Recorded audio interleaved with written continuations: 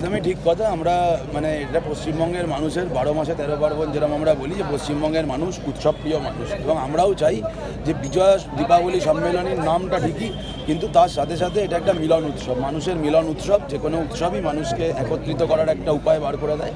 এখানে আমরা আজকে এই অঞ্চলে বিধায়ক স্মিতা বক্সির উদ্যোগে এখানে মানুষজনকে সাথে নিয়ে, এই ওয়ার্ডের অঞ্চলের সকল মানুষকে নিয়ে আমরা এই অনুষ্ঠান আজকে চলছে। এখানে সন্ধেবেলা সুন্দর সাংস্কৃতিক অনুষ্ঠান, সঙ্গীতানুষ্ঠান, সবাই মিলে আনন্দ উপভোগ করার জন্যই আজকের এই প্রয়াস। এবং মানুষের যে স্বতঃস্ফূর্ততা চোখে পড়ছে, মানুষ যেভাবে এখানে এসে একত্রিত হয়েছে সত্যি এই রকম উৎসব বারে বারে বছরে একবার নয়, বারে বারে যাতে করা যায়, সেই প্রচেষ্টা আমরা আগামী দিনে করব।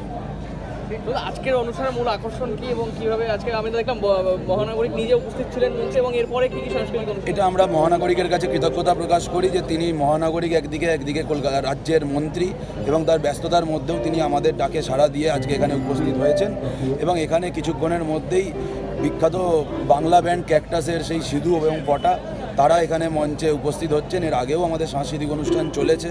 টেলিভিশন জগতের তারকারাও এখানে উপস্থিত হয়েছেন এবং রাজ্যের অন্যান্য মাননীয় মন্ত্রী চন্দ্রিমা ভট্টাচার্য থেকে শুরু করে বিধায়কগণ পৌর প্রতিনিধিগণ থেকে শুরু করে অন্যান্য নেতৃবর্গও এখানে উপস্থিত হয়েছে আমরা সকলকে নিয়ে এই অনুষ্ঠান করার জন্য অঙ্গীকারবদ্ধ এবং মানুষের যাতে আনন্দ উপভোগ দেওয়া যায়, মানুষের পাশে যাতে থাকা যায়, সেটার জন্য অঙ্গীকারবদ্ধ।